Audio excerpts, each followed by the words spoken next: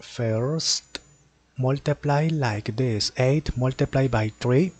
24 minus 7 multiplied by 2 14 here 7 multiplied by 8 56 here subtract is 10 can be simplified because can be divided by the same number divided by 2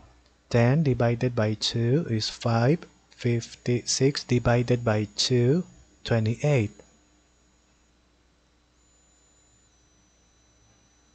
finish